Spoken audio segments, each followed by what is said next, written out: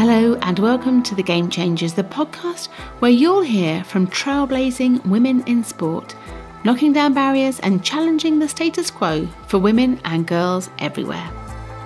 I'm Sue Anstiss, a founding trustee of the Women's Sport Trust charity and the founder of Fearless Women, a company with a powerful ambition to drive positive change for women's sport.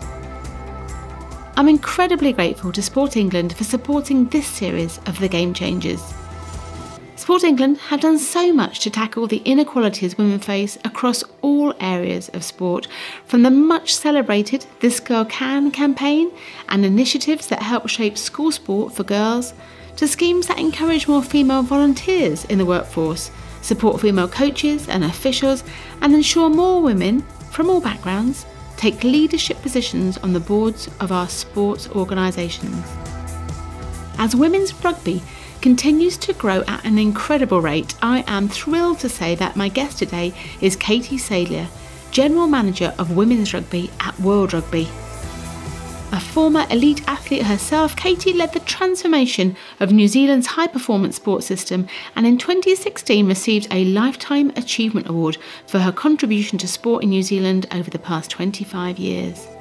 I'd heard Katie refer to herself as a child of the Commonwealth, so I asked her to explain what she meant by that.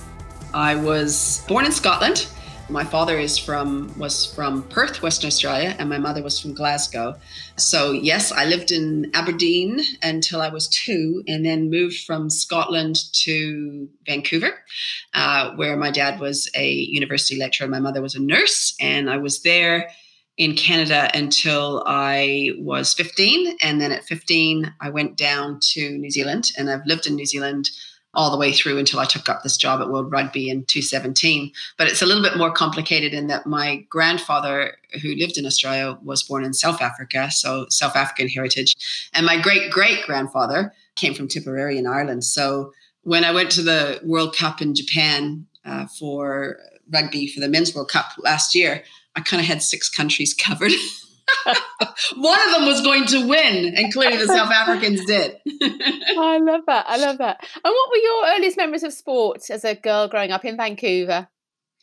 Um, well, I was very involved in aquatic sports, and in Vancouver, I sort of started out as a competitive swimmer, and then at quite a young age, I started. Uh, I got involved in synchronized swimming.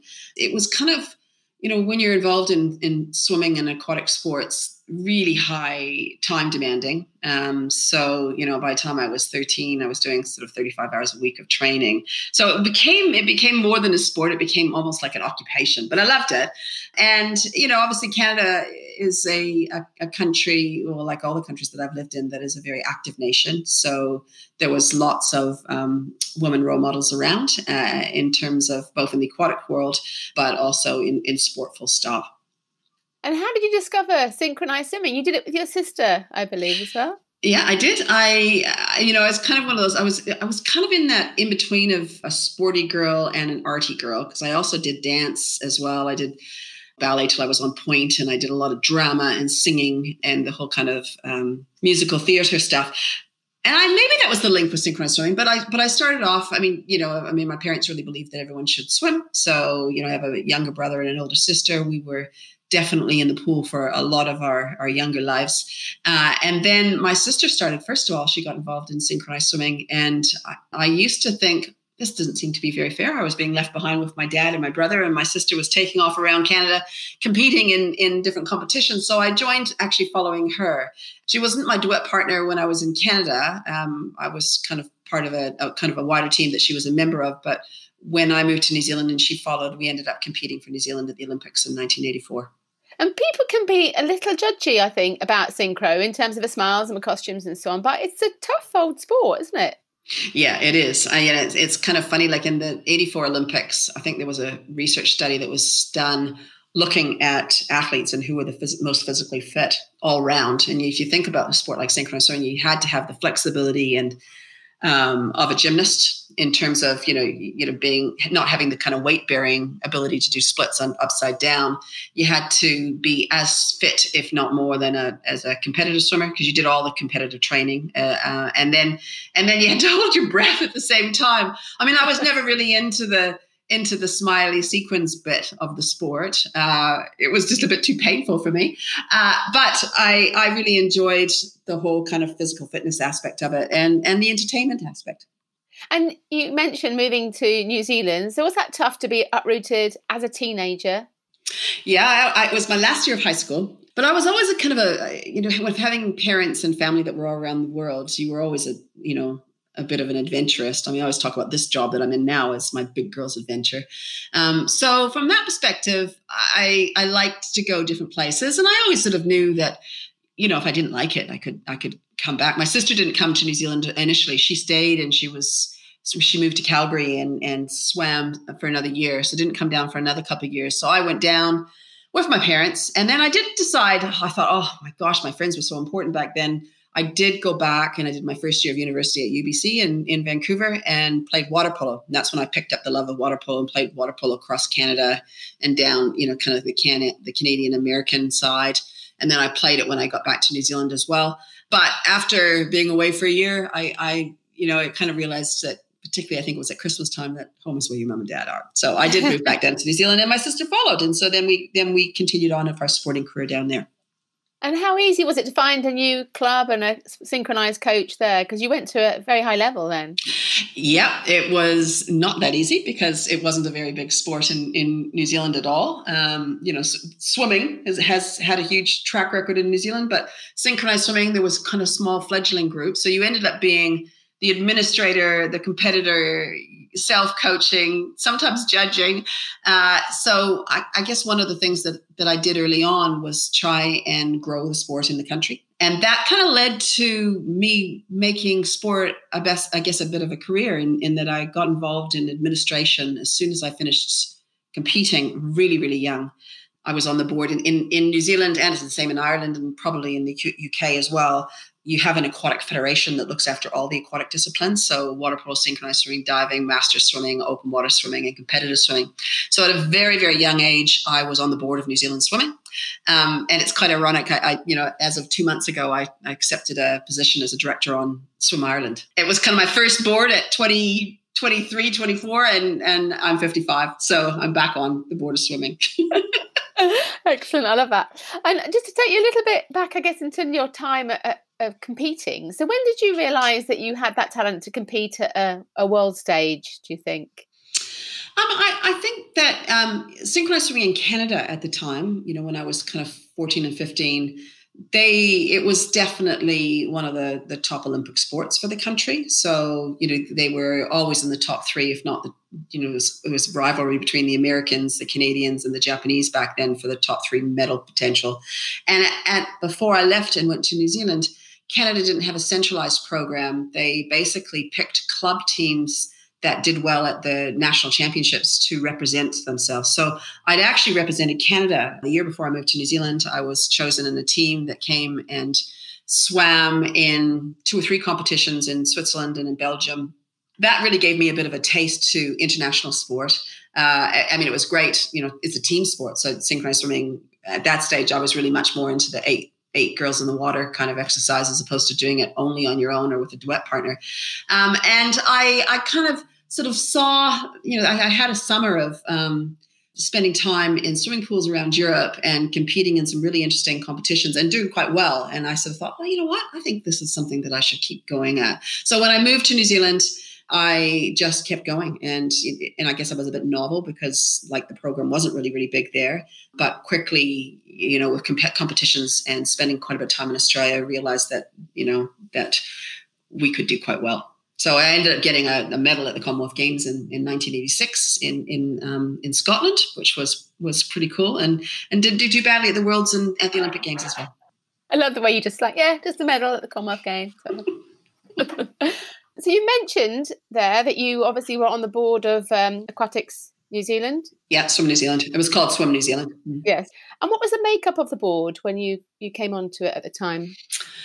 Uh, there was me and I guess when I'm just thinking of all the different aquatic disciplines and seven men.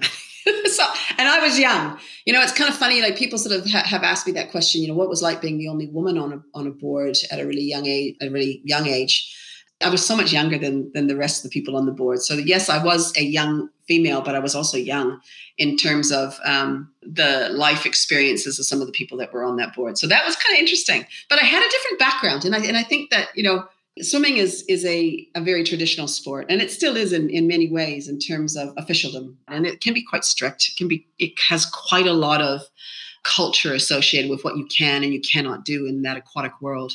So I was kind of a bit of a rebel, I have to say, sort of coming into a, a board at a young age um, where I, I, was kind of um, far more casual in my approach to senior administration. And I, I remember I gave the guys a bit of a hard time, and they put up with me because I, maybe I was a little bit unique in that they would we would turn up at meetings in Wellington in in boardrooms at Swimming New Zealand offices, and, and there would be literally would be no windows or anything like that. It was a Sunday afternoon you were really there by yourself and they would all kind of march up there in their blazers and their their suits and their pins and their ties and I would kind of rock up there in my tracksuit. because a, there wasn't a suit and a tie for me at that stage. I mean, you know, I'm 55, so we're talking back a few haircuts, but also I just couldn't see the point, you know, to sit, to sit. And so, so that whole kind of tradition, although you respect that, and I, I know for some people that that type of thing is is really important in terms of official, officialdom. But to me, it was really I could imagine that if you weren't very confident, you could find that whole kind of thing rather intimidating in terms of walking into a room with a bunch of um, reasonably elderly men in suits. Is there anything you would do differently if you know what you know now, going back to that time? I think that probably, and it's even not so much back that time. It's it's it's when I've reflected very much on my career. You know, I'm in this role now where my title is general manager women's rugby for World Rugby, and it's the first time. Although I am a woman and I've worked in sport for years and years and years and years, it's the first time I've had a title called women's sport person. And you know, I think in hindsight, when I look at my career particularly in that early age, you were just going for it. You just you just went ahead and you did everything you could. And perhaps I could have done more to bring more women with me at an early earlier stage. I didn't really think of myself as I am a woman in an administration position and that I should do more to bring create more roles for more women. I was just really flying by the seat of my pants, trying to trying to be as professional and um, get things. You know, I've always been someone who works at pace, so it was very much about moving as quickly as possible to cementing the next stage for the future for the sport. But I wasn't really thinking so much about gender back then. And and now in hindsight, probably I would. And and when I look at the work that I do now with women around the world and some of the barriers uh, for them and the challenges for them and the opportunities that that perhaps in hindsight, if I had if I had the wisdom I have now as a 24 year old, I might have done some things differently. we all might be doing different things, that we? You led the uh, establishment of the New Zealand Academy of Sport in the late 90s and helped take a country with a population of just 4 million from four Olympic medals at Sydney to 18 at Rio. So, what do you feel changed about sport in New Zealand while you were in that role? Well, that was one of the most amazing opportunities. And if you think about your career and you think of some of the really good projects that you've been involved in, and that was quite a big project. I mean, I, I guess it basically what happened was Sydney had been awarded the Olympic Games, and, and back then we didn't we didn't really have a high performance system. We had kind of a grant program where athletes who had talent were given sort of individual grants, but there wasn't sort of like a systematic way of developing talent in the country. So Sydney got the Olympics. The Prime Minister set up a task force to capitalize on the Sydney Olympics, which was made up of business and sport. And I was given the task of being the secretariat for that to start to drive how did we actually turn that into our home games for us, for a country that was never going to host an Olympic Games.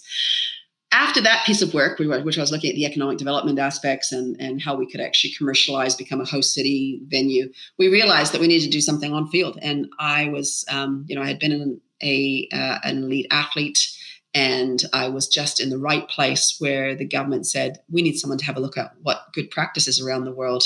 And I was given this, this task of visiting high performance systems right around the globe, ones that we felt that we could compete with, others that we really just were interested in seeing how they had fast tracked their system to come back and create something that was was not copying but was cognizant of good practice and created something that was quite unique for New Zealand.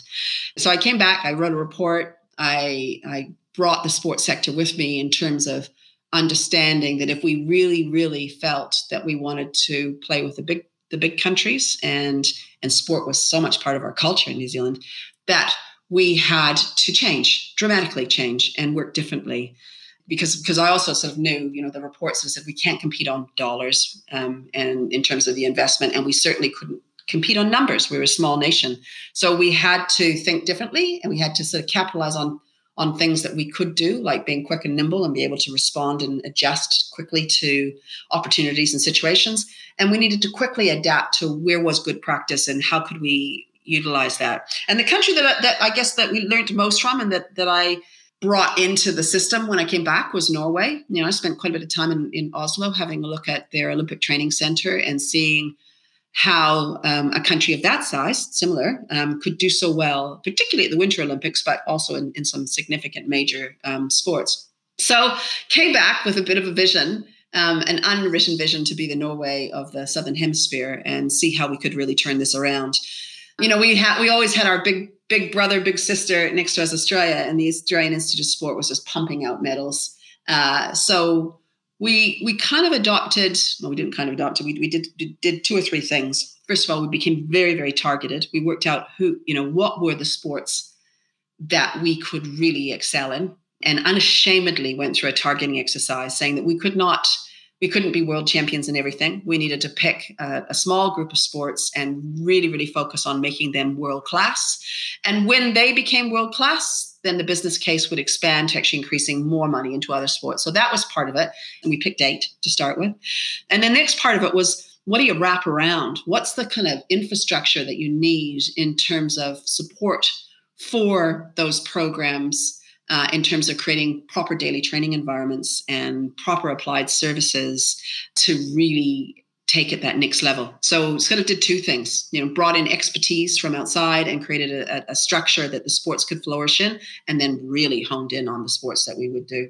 And then the one other thing, you know, is is which I really learned from Norway is, and I think it's still quite unique in New Zealand, and that I, although you know, I mean, I worked in high performance sport for a long period of time, and, and things have adjusted, but we really we picked up the concept of Norway that we needed to be one team you know that we could not afford to not capitalize on the knowledge that existed in all our sports and work together as one team. And so when you think about the new zealand high performance system now you know we develop our coaches as as together in terms of joint professional development our performance directors in terms of joint professional development. We share constantly in terms of knowledge transfer in our pre-briefs and our debriefs and where we're traveling and not traveling. So it is my, it is it is definitely a one team culture as opposed to a whole bunch of sports doing their own thing there's been a lot in the media recently about how the ambition of medals has negatively impacted the well-being of athletes. I'm thinking, especially in sports like gymnastics and swimming and athletics. Does that surprise you to see that recently? Well, I, th- I think some of the stories that have come out um, recently, in terms of you know, particularly in the gymnastics, and looking at the the athlete A, which I'm sure everyone has had a look at, are, are just horrific. Um, does it surprise me? I mean, you know, people are driven by certain things, and certain nations are driven more by um, certain things. When I think of New Zealand, we definitely um, are a country that puts a balanced approach to performance and participation, and and that has always been really really important. Uh, you know, I, although I was an elite athlete, I had a daughter that participated in lots of different sports, and participation and active recreation is very much a part of the New Zealand culture. And so, whilst we do have a, a, a, pointy end in terms of high performance, there is a huge investment in participation and getting getting people just active. And and I think that that is as important as the high end, and hopefully the two can mutually drive each other. So it's not about performance for performance sake only. It's about performance because it drives things that are about social change in, in, in countries, growing participation, growing national pride, creating that social cohesion, and which is why it's so important right now.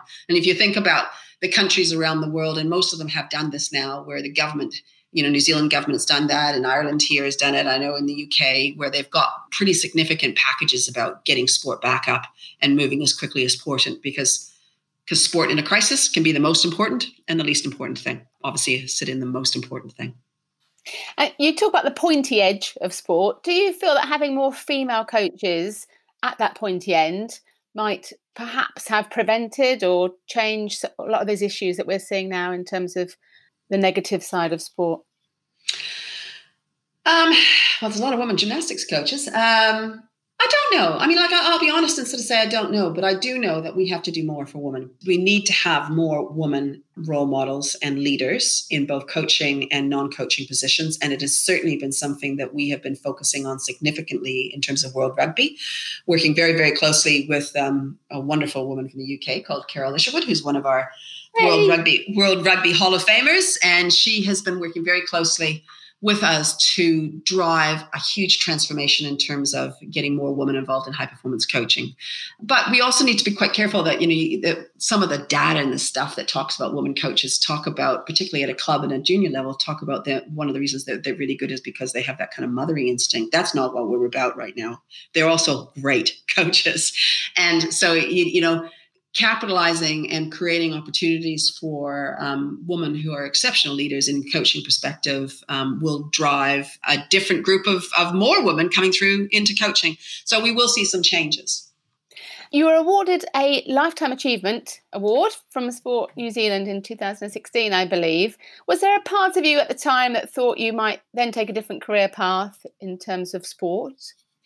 Yeah, well, I actually had. I mean, it was kind of one of those bizarre events. I mean, I I worked in sport for a very, very long time. Well, I'm still working in sports. Kind of funny, but I, I I went through a variety of organizations. So starting off with the Hillary Commission, named after Sir Edmund Hillary, where I was kind of more into the volunteer sport national governing body capability improvement um, grassroots stuff. Then i went to work for the sports foundation which was kind of that that organization that just picked up grants. Then they created this new organization called um, SPARC sport and recreation new zealand. And then i worked for sport new zealand and high performance sport new zealand. So five different kind of crown entities along a, a kind of pathway. But got to the age of 40 and thought oh my gosh i need to apply for a job. And i sat and i I talked to a bunch of people that were on boards that I had reported to to get some feedback about who I was and what I was and what they saw the strengths were. And they all advised me I needed to step out and do some really big jobs in other sectors for a period of time, and then step back in if I if I wanted to.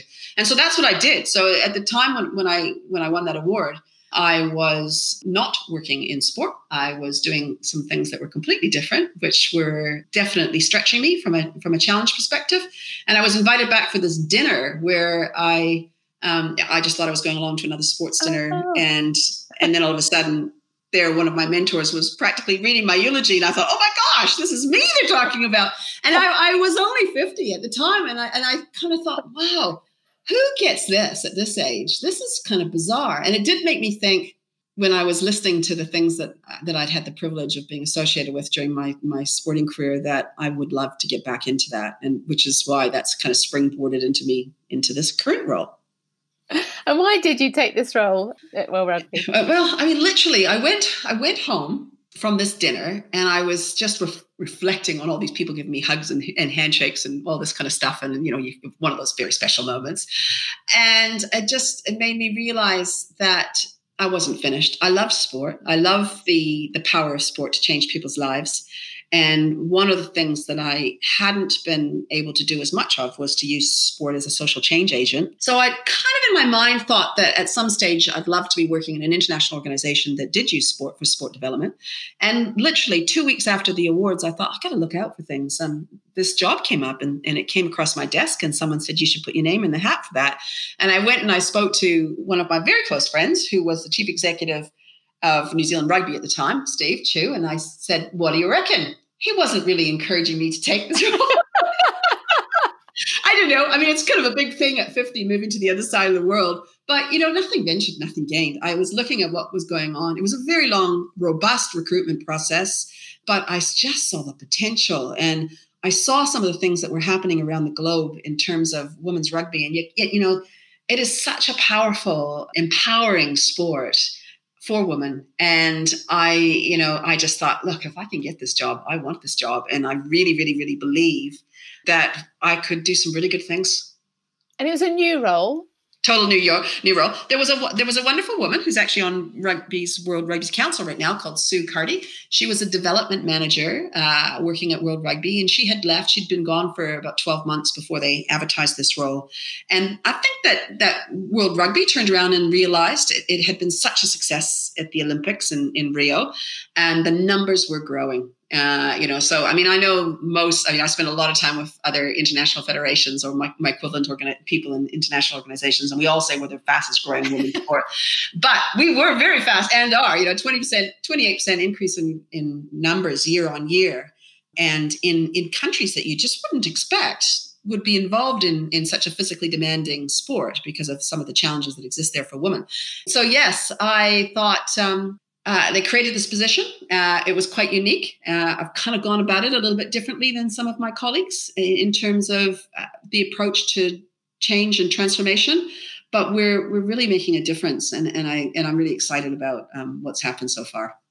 And I want to come on to talk to you about activity on the ground, but just talking governance initially, mm-hmm. when you joined, is it true that people told you there was no way at the time that World Rugby would have women on its council? I've heard. Oh yeah. Oh, there was. You know, I remember there was an article that was written by um, a very famous American coach, uh, coaching women's rugby, and I think she had just done a report to Rugby Americas North. We've got six regional associations, and I was reading this, and I and basically she was making a comment about how we would never see the change, and I had. You know, I've never played rugby. So, you know, I come from New Zealand. I was married to a, a halfback who played in Wellington um, a long time ago. Uh, so I knew a lot about rugby, and I had a lot of friends that were associated with the New Zealand Rugby Union, and I came from New Zealand, so it's part of it's part of what you do down there. But coming to an organization that had 27% uh, of its population were women playing around the world, and we were governed by a board of 30 men. You know, you do you do sit there and think, hmm, okay, there's some big changes that have to be made around here. But full credit, I know that's kind of a rugby saying, full credit to what I call my ambassadors that, that are all around the globe now. They kind of realized that, you know, you, you can't say that you want to be world leading in sport and not be committed to international best practice and so one of the things that needed to be changed and needs to continuously be changed, and we're still on a transformation. You know, I think over the next six months you'll see some even better changes that are going to come out of World Rugby. But we needed to do something significant and impactful really early on if we were going to drive the transformation that needed to happen around the globe. You know, my first year was about developing a global plan, listening to people around the world to work out what were the key drivers that we needed to put in place to to accelerate the global development of women in rugby, to create women's rugby and girls' rugby be normal. And one of the big, big pillars of that was leadership change. And on the day that they signed off on the, the eight year strategy, we changed the, the governance structure of World Rugby and brought on 17 women directors. So from zero to 36%, just like that. And so when people say things like that can't happen, they certainly can happen. And we're doing the same in coaching. You know, I, I mean, I think that we did quite a big piece of work just to kind of understand what was going on in coaching because in that leadership work stream it's not just about administrators and, and, senior managers it also must be coaching and we realized that we were so far behind the eight ball in terms of you know i think we did a review of the top 16 um, women's sevens and 15 teams there was only one country in the world back in 2017 that had a woman as a head coach, and there was only four countries that had women involved in coaching teams. Um, so we knew we needed to do some dramatic change, and we we kind of signed off on a, a really holistic suite of recommendations, um, which we are implementing with Vim and Vigor, which are about changing the look and feel of coaching, not just having women coaching women. It's about having diversity in coaching teams. So there's been some, you know, we're about to announce something that's really quite big in terms of deployment opportunities for women coaches globally. Uh, but we are absolutely driving a change on the field as well. Excellent. That's fantastic to hear. And I guess on a slightly more negative point, I think it was Ali Donnelly that pointed out there were more Bretts than women on the 12 strong board of World Rugby this year for the second successive term. So does that clearly that does frustrate you then when you see so much good work happening elsewhere in terms of governance? Yes, but and I, I put that with a big but. That was a catalyst for change and you know this isn't it's not an overnight thing although the first first was overnight you know one of the, the big things that that came out of this election was a strong commitment by the current chairman to relook at the governance structure of world rugby and so yes our first change was bring on 17 women onto council, and that is the highest decision making body. You know, EXCO is a subset of that, so that is the, the biggest decision making. And then the next thing was, you know, once every four years, which is now the election, we need to look at repopulating all our subcommittees to make sure that they reflect gender balance and diversity inclusion. So that's happening now. And then on top of that, the commitment that Bill made at that time, I mean, he was he was one of the first people to say that's not good enough, was that we are currently doing a, a governance review, which will take place, which, which is commenced, and it will take place uh, over the next three to four months. And diversity and inclusion on all committees and EXCO is a key component of that. So you will see some changes.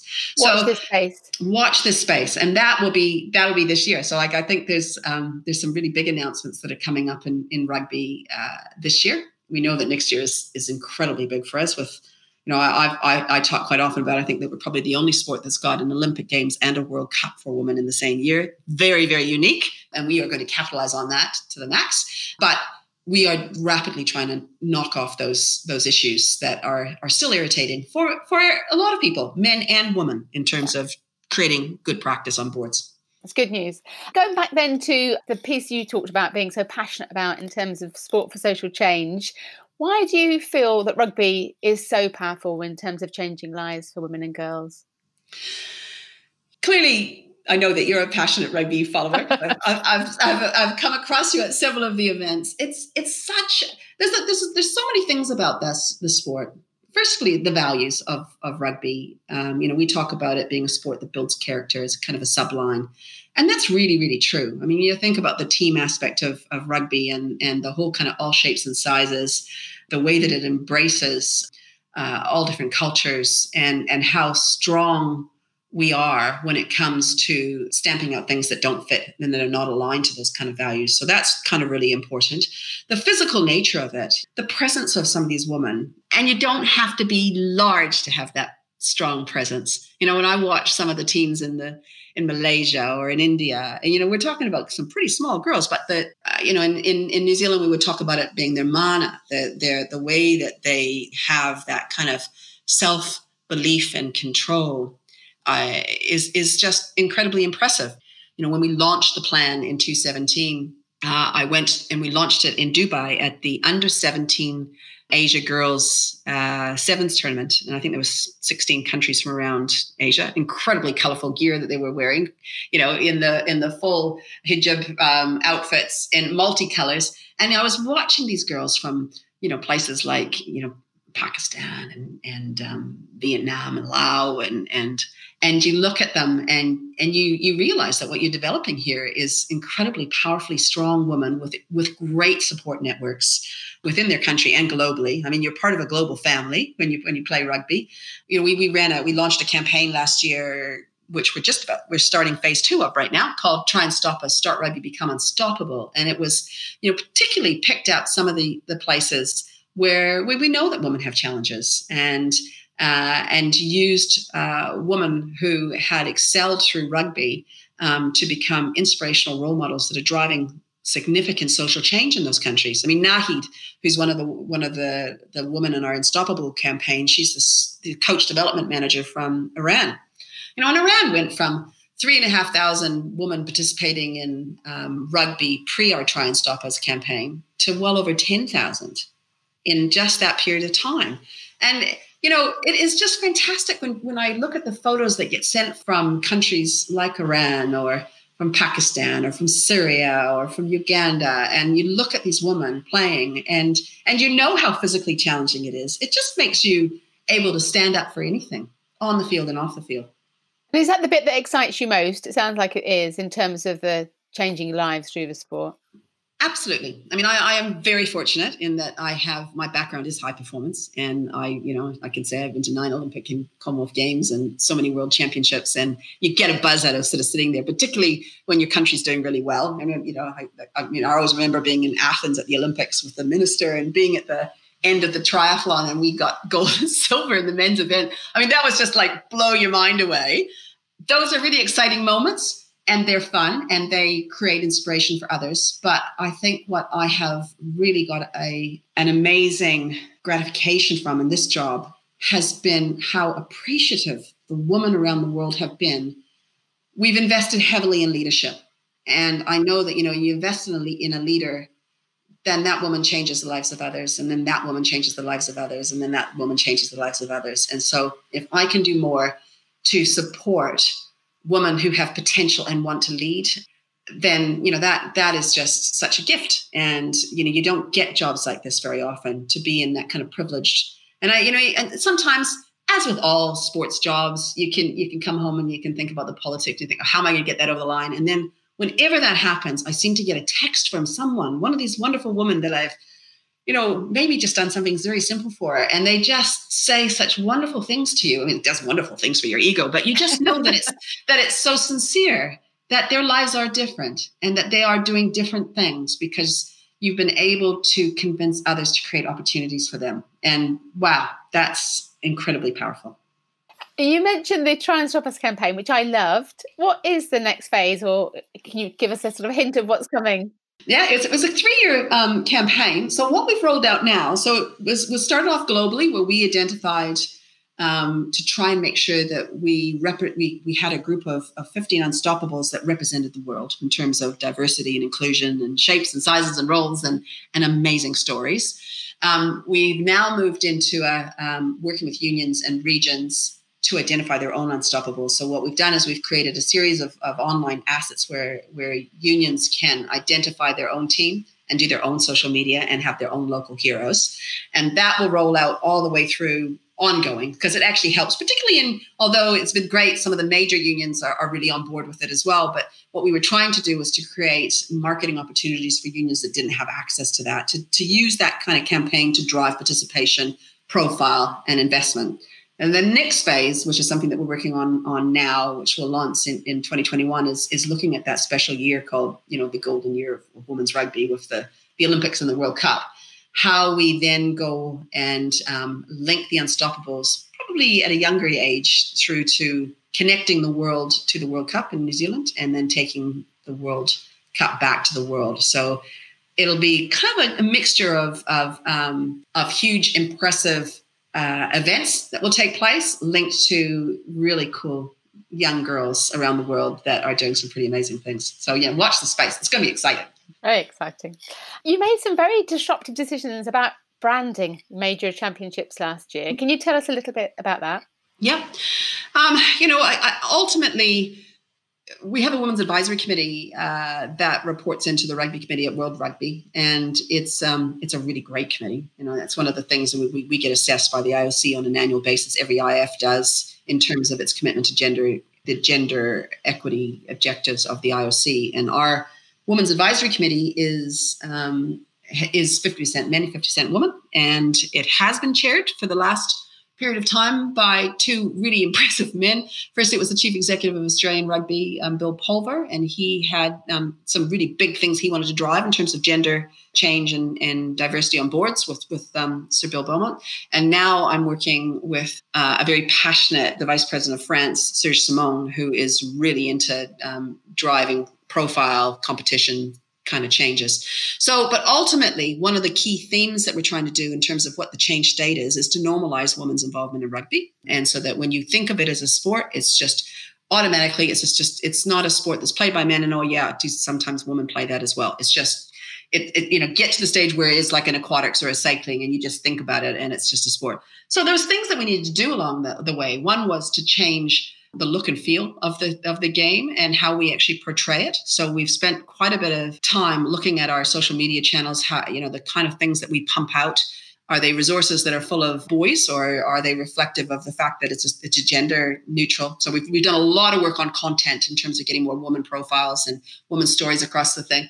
But the same thing needed to happen about the competitions is that you know we we came to the conclusion we sort of saw what what cricket cricket had done initially. I mean, cricket turned around at their last cycle of World Championships where they decided that they would add men's into their World Cup title. So they've got a, a women's cricket World Cup and they have a men's cricket World Cup. And we looked at that and we sort of said that, you know, rightly or wrongly, there was probably a perception that um, the men's World Cup is the most important uh, in terms of our, um, our pinnacle events, and the Women's um, World Cup was second. And, and one of the reasons people would think that, I mean, wait, we recognize in terms of generating economic return for the game right now and for the foreseeable future, although we're trying to do something different in the commercial space.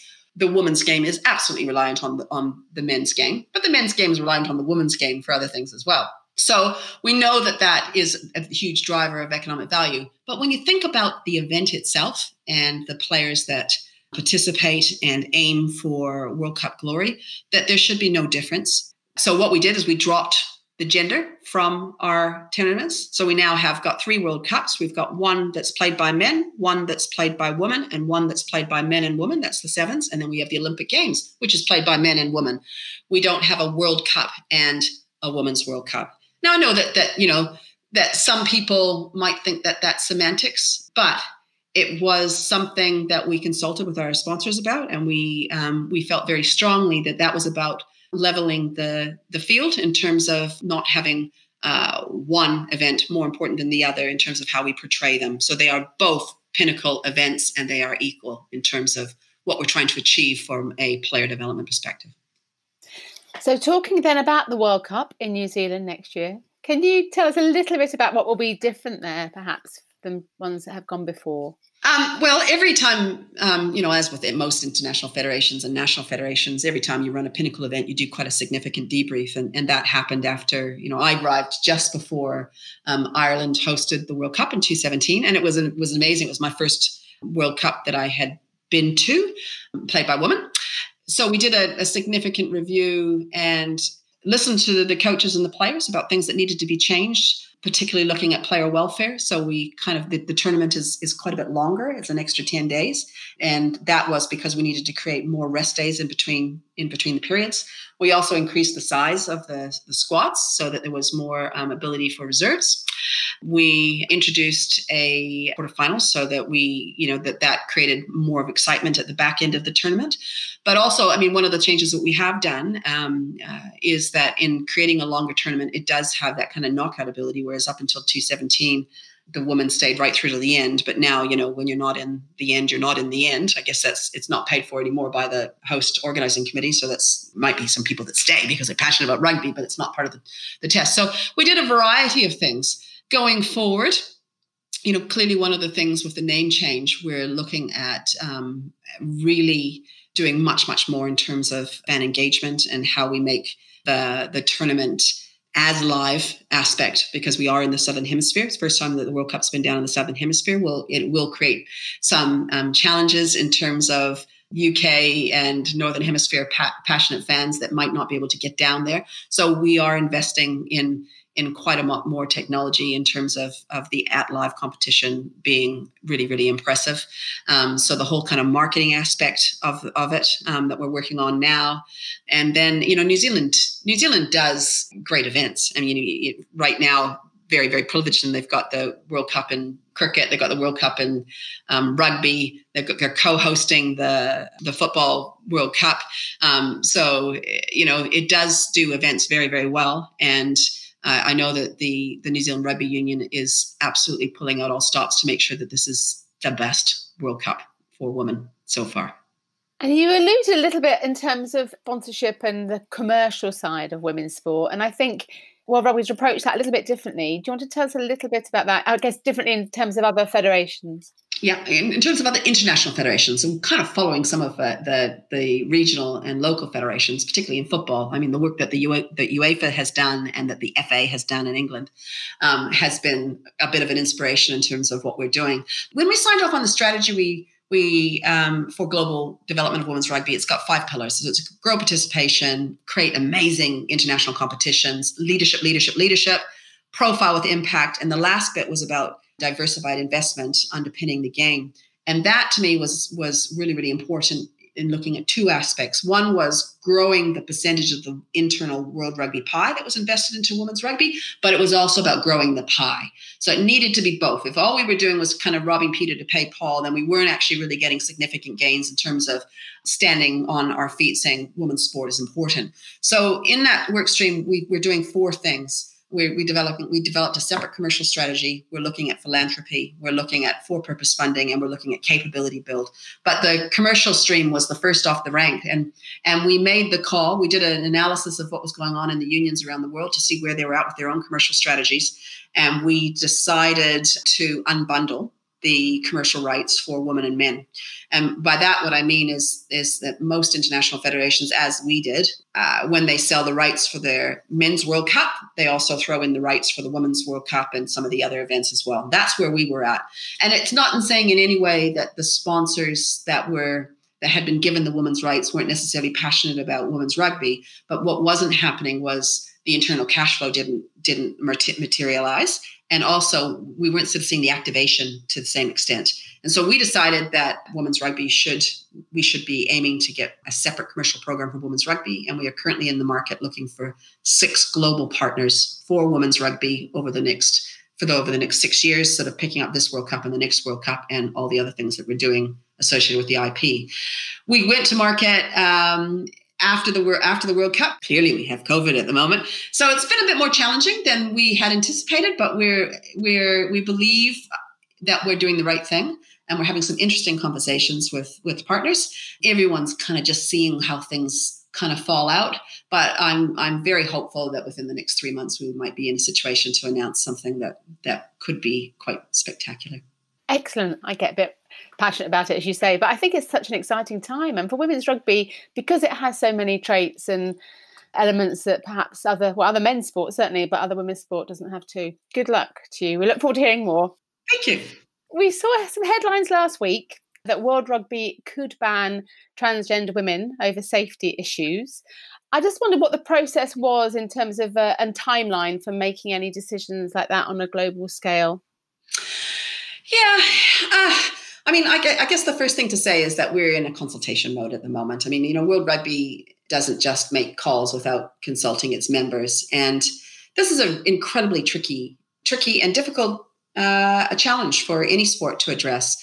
I was part of the the review group. Um, the review group is chaired by a an amazing um, woman who's one of our executive leadership scholarships, so part of our pipeline program called Dr. Ru Chinto, um, who's on the board of Rugby Canada and uh, a, um, a practicing sports psychologist, sports psych, no, sorry, not sports psychologist, psychiatrist, not sport. So she chaired that group. The group was made up of a, a really good mixture of players' representatives, um, our, my, myself, scientists, legal experts that have played. And our task was to review what our current policy was and to decide whether or not it was fit for purpose because there were certain questions that were being raised that were coming to us um, where some of those challenges were being put for us. So, I mean, as with any kind of policy, I mean, it's, it's something that you, you do and you take very seriously. The process that we went through was A, to make sure that we had a diverse kind of review panel that that was looking at the issue from all different perspectives and then we then had a a, a really insightful two-day forum where a whole series of of groups that uh, were representative of legal social, ethical, players, medical came together and we invited um, people to submit papers and discussions on things that we should consider when we were looking at what should we do in terms of creating a fit for purpose. And it, and it kind of pointed out a few things. So, you know you know i guess one of the things was was there was question marks about the policy that the ioc had had in terms of particularly in terms of how it applied for rugby. And, and it would have been professionally inept of us to just pretend that that didn't exist. So, you know, from that perspective, the, the real challenge uh, when you looked at all the research that was put in front of that group was that we are a sport that prides itself on inclusivity, inclusivity and, and diversity inclusion is really, really important. But we also put player welfare as our number one priority. And there were there were challenges that were coming from from the wider community about whether or not this was fair. And so I, I think the thing is is that World Rugby is committed to making sure that it remains itself a, an inclusive sport. It may very well be that we need to just think about how that happens in a in a in a different way. But there has been no decisions made at, at this stage, and you know it's you know, it's kind of interesting. I know that that there has been some absolutely passionate um, women players that have come back and sort of said that you know they think this is atrocious that we're looking at this. I think it would be very, like I said, professionally irresponsible for us to not look at it because there has been many many players who said that we need to. So you know, it's kind of you balancing both sides when you're an international federation. But what I can say is that you know it's not a, if we go down that path it's not a decision that we make lightly. It's a decision that we make in the full understanding is that you, are never going to be popular and that we need to do it with the best information we can and support the widest population that we can. So it's it's something that is um, that we're looking at very very seriously and it's out right now with our members for consultation. Fantastic. Thank you. And finally for you as an individual katie what would you say your personal goals are for the future Wow, that's a big one. you know, it's interesting. COVID's given me a lot of opportunity. Like, it was kind of funny. I I, I do a family quiz. I'm, I'm I'm in Ireland by myself, so I, I left my family behind. Well, in saying that, I was I wasn't married, but my 25 year old daughter. And everyone laughs because here is the mother, the 55 year old, off on the big girls adventure, oh, yeah. and the 25 year old is back working hard on her career. Abby down in New Zealand.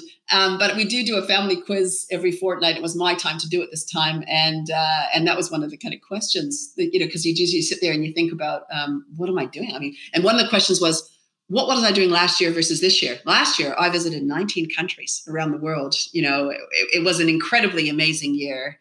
There was a lot on, and it was all about you know driving the leadership agenda and doing what I could for for women women. This year. it's quite different. You know, safety, safety, safety. I am, um, I am planning on going down to New Zealand uh, in September for an extended stay. I will need to go into quarantine for a period of time, and that is a mixture of work and a little bit of holiday with my my daughter and my family. But my my personal goal, I guess, I really believe I did a I, I did an all nighter the other night for a farewell for a, a, staff member that I employed who looked after coaching in New Zealand, who was a really special guy. And I, I was thinking about um, my career, and and I sort of said in my leaving speech at two o'clock in the morning, um, so I could be there for for him, New Zealand time, was that you know I think your legacy is the people that you leave behind, and I have been really fortunate to employ some amazing people and see them have some incredible careers doing some amazing things. What I really get a, um, a kick out of is is developing leaders. And you know, I'll give you a little story. We have this pipeline program for you know, when we put 17 women on council, people sort of said, oh, you know, where are the women going to come from? And so I said, oh, well, I'm sure there's lots of women around the world, but let's have some money and we'll develop a pipeline program. We have this executive leadership scholarship program. And, you know, there was a woman who was identified who was the president of Burkina Faso um, Rolande Boro, and she was one of the first women that that I got involved in this scholarship program. Such potential, really amazing lady. She spoke French, not a single piece of um, English, and, and so we had some really interesting conversations initially. She wanted to learn how to. She wanted to participate in the international world of rugby, and she knew that to do that, she needed to master English, and so her scholarship went towards supporting for for English you know, here we are three years on. She is on the board of Rugby Africa now. She is a council member on World Rugby. And I remember when she turned up at her first World Rugby Council meeting, she came over to me and she just gave me a hug and she said, Thanks, I can speak. And she spoke to me in English. And I just sort of thought, you know, the difference that that has made for that for that woman who has such potential to actually help drive the change we want to see in Africa. You know, it's it's so yeah. So for me, my goal personally is to get more Rolande Boros and to get more Nahids and to get more Ada Milbys and to to do everything I can to make sure that that women's voices are heard and that we that we work with governing bodies around the world to make sure that diversity is respected, recognized, and practiced. It was lovely to talk to Katie at such an exciting time for women's rugby, and I very much look forward to witnessing the impact she'll have on the game in the future. Another big thank you to Sport England for their kind support of the Game Changers, which enables us to share the stories of these amazing women with audiences all over the world. And thanks also to Sam Walker from What Goes On Media, who's our very talented executive producer. If you'd like to find out more about any of the 41 remarkable guests from this and the previous series, please visit our website at fearlesswomen.co.uk. Thanks for all your lovely comments on social media. It's fantastic to hear people are really enjoying the podcasts. Next week, I have the absolute honour of talking to Tracy Edwards, MBE, who overcame huge challenges to skipper the first all female crew in the Whitbread Round the World yacht race and was the first woman to receive the Yachtsman of the Year trophy. It is hard to remember 30 years ago how impossible people thought it was for a team of women sailing around the world. People honestly thought we were going to die, especially men that didn't sail. To them, it was such a huge thing for even men to sail around the world. How would women be able to do it? And we had extraordinary responses to the hundreds and hundreds and hundreds of letters we sent out. One of my favourites was the thought of 12 of my wife sailing around the world fills me with horror. The Game Changers. Fearless Women in Sport.